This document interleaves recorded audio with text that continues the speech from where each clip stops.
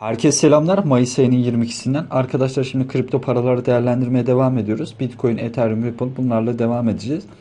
Ee, hepsinde beklentimiz yönünde gelişmeye devam ediyor. Bitcoin gene e, 8200 dolar civarlarından satış yedi ve güvenli alım dediğimiz yerlere geldi. Daha sonra oradan tekrar yükselişe geçti. Bunlara tek tek bakacağız. Ethereum, Ripple bunlarda son durum nedir? Bunlara bakacağız. Şimdi isterseniz şöyle bir haber akışlarına bakalım.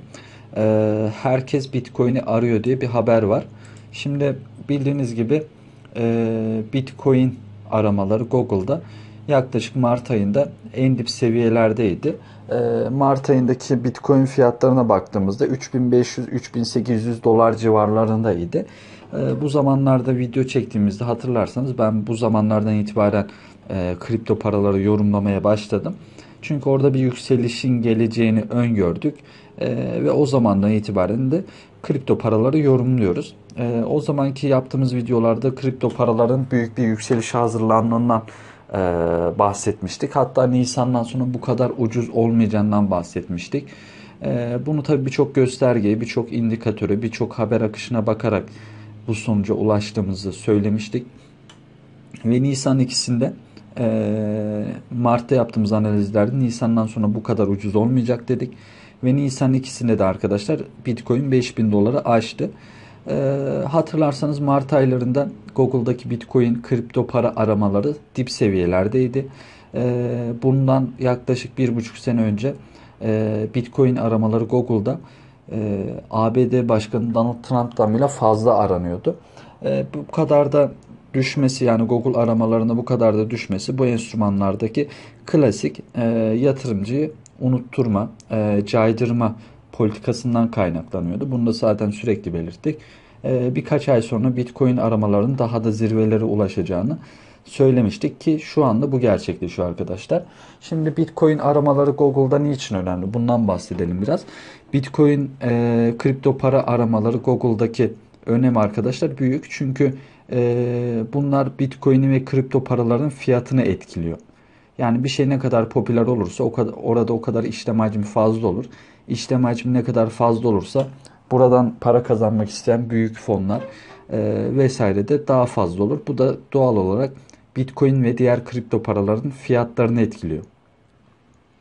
Şöyle baktığımız zaman e, Bitcoin ile Google aramaları son 13 ayın zirvesine ulaşmış durumda. E, dünyada da gitgide popülerliği artıyor arkadaşlar. E, bir haber vardı bir tane haber sitesinde Google'da Bitcoin aramalarının yükselmesinin ana sebebi olarak Amerika'nın en büyük televizyon kanallarından e, bir tanesinde yayınlanan bir programda bu programın son bölümünde arkadaşlar kripto paralara ve Bitcoin'e odaklanmasını göstermiş. E, bunun için önemli bir haber. Program yaklaşık 7.9 milyon kişi tarafından seyredilmiş. E, gerçekten büyük bir rakam. İşte bu tarz haberler, bu tarz haber programlarında çıkması, televizyonlarda çıkması tabii Bitcoin'in ve diğer kripto paraların popülerliğini artırıyor. Bu gitgide devam edecektir. Yani bu 2020-2021'den sonra daha da popüler hale gelecektir. Geleceğin e, büyük para birimlerinden Bitcoin e, bu şekilde ünlenmesi normal arkadaşlar. İsterseniz hemen analize geçelim. Şimdi Bitcoin'de son yaptığımız analizlerde rakamlar üzerinden gitmiştik hatırlarsanız. 8200 ve 8400 civarlarına yaklaştıkça satış gelebileceğinden bahsetmiştik. Buralar gerçekten çok önemli bir direnç seviyesi. Hem geçmişten gelen hem de şu an Fibo düzeltme seviyelerine baktığımızda buralar e, önemli bir direnç seviyesi olarak kalıyordu. Buralardan alım yapmanın çok mantıksız olduğunu söylemiştik. Çünkü buraların birer satış bölgesi ol, olduğundan bahsetmiştik. Yani 8200 ve 8400 arasına yaklaştığı satış güvenilir olarak 6800 ve 7200 arası alım olarak nitelendirmiştik. Ki buralarda satış yapan 7200'lerden tekrar yerine koymuştur. Şimdi kripto paralarda e, teknik analiz gayet güzel bir şekilde işliyor arkadaşlar. E, bakın harekette bakın buradaki harekette.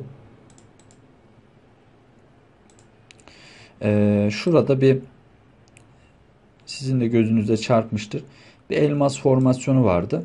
E, diplere geldiğinde yani 7200'lere geldiğinde zaten diplerde oluşan elmas formasyonu genellikle yukarı yönlü kırılırdı. Ee, bakın buradaki elmas formasyonu yukarı yönlü kırıldı arkadaşlar. Ve tekrardan 7200'lerin geçilmesiyle birlikte 8000-8200 dolarlara kadar yükseldi. Yani şuna bakar mısın? 1000 dolarlık bir kar. Ee, sadece ufak bir formasyona bakarak zaten bizim de güvenli alım bölgesi olarak nitelendirdiğimiz bölge. Şimdi tekrar e, formasyon vesaire var mı diye baktığımızda şöyle 4 saatte açalım.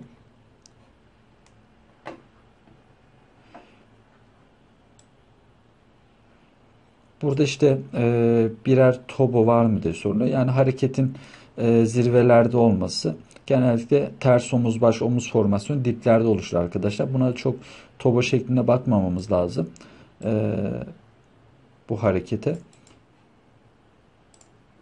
Şu şekilde bir üçgenden bahsedebiliriz. Hareketin gitgide sanki bu alan içerisinde sıkışmak isteyeceğinden e, söz edebiliriz ve kırılıma göre 8400-8200 dolarlar yukarı yönlü kırılır ise büyük ihtimal 10.000 dolarlara doğru hedefine gitmek isteyecektir.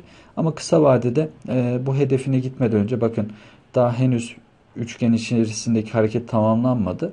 Yani şu anlık bu bir üçgen görüntüsünü anımsatıyor. Tam net üçgen de değil. Bunu da belirteyim. Yani 8200'lere yaklaştığı satış güvenli alım olarak tekrardan 7200-6800 dolar arası alım bölgesi olarak karşımıza çıkıyor Bitcoin'de. Zaten bunu uzun zamandır belirtiyoruz. E, 8200'lere yaklaştı full satmayın. Çünkü buralar geçilirse 10.000 dolar hedefine gitmek isteyecektir Bitcoin. Şöyle aşağıdan gelen bir trend çizgisi aldığımızda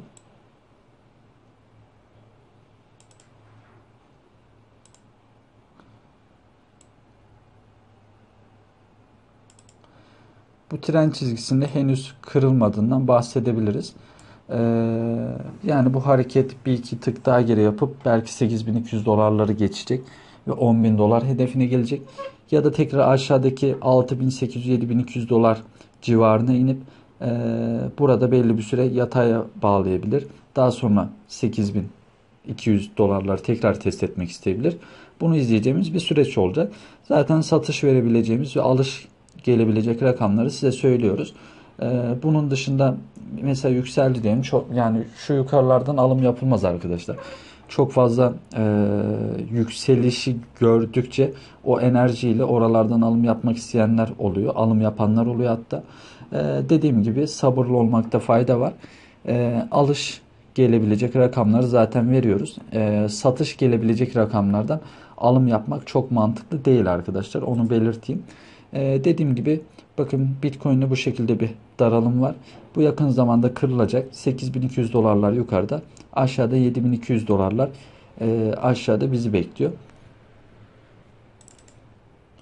8200-8400 dolar üzeri her hareket e, Bitcoin'de 10.000 doları tetikleyecektir arkadaşlar. Benim 10.000 dolar hedefim devam ediyor. Ama bu hedef dediğim gibi e, biraz gecikebilir. Bunu zaten sürekli belirtiyoruz. E, çünkü 8400 civarı gerçekten önemli bir direnç bölgesi. E, bu hedefinde zaten geç, gecikebileceğini sürekli her videoda anımsatıyoruz. Şöyle Ethereum'a bakalım isterseniz. Ethereum'da da aynı şekilde e, daralım devam ediyor arkadaşlar. Ethereum'a baktığımızda yaklaşık 150-160 dolardan beri alın alın diyoruz. E, hem yükselen üçgen görüntüsü vardı hem de haber akışları vesaire Bitcoin'den bir iki tık geri gelmesi. E, zaten Ethereum'da bakın 150-160 dolardan alanlar şu an neredeyse %80 %90'a yakın bir kar oranına sahipler. E, bizi izleyenler yine kazanmaya devam ediyor. Bunlar birer yatırım tavsiyesi olarak algılamayın arkadaşlar. Sadece satış gelebilecek ve alış gelebilecek rakamları belirtmeye çalışıyoruz. 280 şu anlık bir zirve olarak kaldı Ethereum'da. Ee, buranın geçilmesi biraz kısa vadede e, zor gibi gözüküyor. Ama imkansız değil. Dediğim kısa vadede bir direnç olarak kaldı. Kısa vadede bir zirve olarak kaldı. Ee, aşağıda ise tekrardan 220 230 dolarlar kritik bir destek seviyesi olarak kaldı. Geçmişte burası birer boşluktu arkadaşlar. Ee, çok fazla bu aralıkta takılmadı. Buradan burayı direkt satış olarak geçmişti düş, düşerken. Ama bu arayı şu an doldurmak istiyor anladığım kadarıyla. Ee, bu arada belli bir süre takılmak isteyebilir, gezmek isteyebilir. Kısada 280-275'e yaklaştıkça bu 260 e, 7268 rakamları da olabilir. Buralara yaklaştıkça satış tekrardan 240 ve 230 dolarla dolarlara yaklaştıkça e, alış girilebilir. Şimdi peki niye 280'ler kısa vadede zirve olarak kaldı? Eğer ki 280'leri geçseydi arkadaşlar diğer bir hedefi 330 dolar civarları olacaktı. Bunun için şu anlık hacim yeterli değildi. O yüzden belli bir süre bu aralıkta takılmak isteyecektir. 280 üzeri her hareket 330 dolarları Ethereum'da hedef haline getirecektir. Ama dediğim gibi siz işlem yaparken 275 268 bu civarlara yaklaştıkça satış 230 civarlarına yaklaştıkça alım girilebilir. E, bu şekilde işlemler yapabilirsiniz. Zirvelere yaklaştıkça full satmayın. Çünkü o seviyeler geçilirse 330 dolarlar gelecektir. Bu arada e, Ethereum'da Golden Cross gerçekleşti mi? Ona bakalım isterseniz.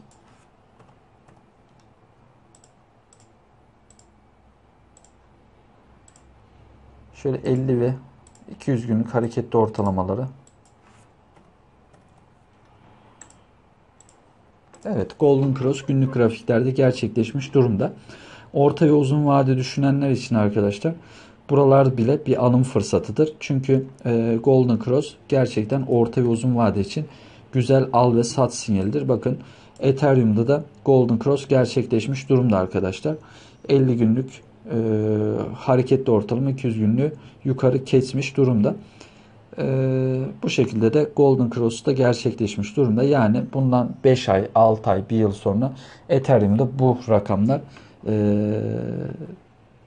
bu rakamları bulmak çok çok zor olacaktır. Golden Cross'a baktığımız zaman e, gerçekten güzel bir indikatör, güzel bir gösterge.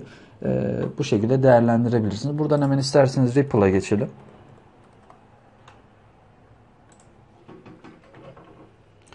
Evet Ripple'da da henüz Golden Cross gerçekleşmemiş. Ee, ama Ripple'da zaten belirttiğimiz seviyelerden alanlar gayet güzel kardalar.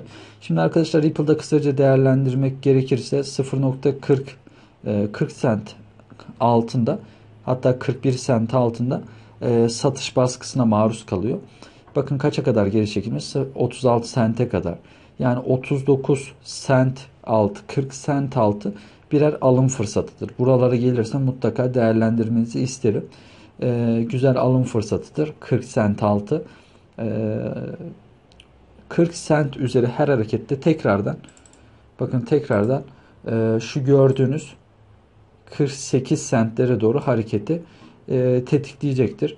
Yani şu 40 cent altı birer alım fırsatı. Hatta 36-32 cent buralar gerçekten güzel alım bölgeleri. E, buralara gelirse değerlendirmenizi öneririm. E, bu rakam üzerindeki her hareket yani 40 cent üzeri her hareket, hareket tekrardan 48 centleri tetikleyecektir. Şöyle aylık grafikten baktığımızda aylık grafikten baktığımız şöyle grafiği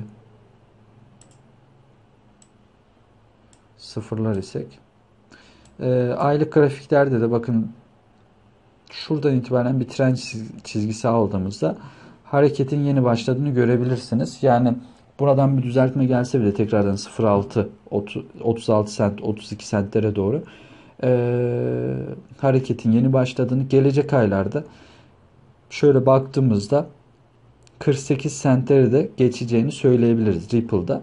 Yani e, bir düzeltme olsa bile kısa vadede şöyle aylık grafiğe baktığımızda buralar gerçekten e, dip seviyeler diyebiliriz Ripple'da da.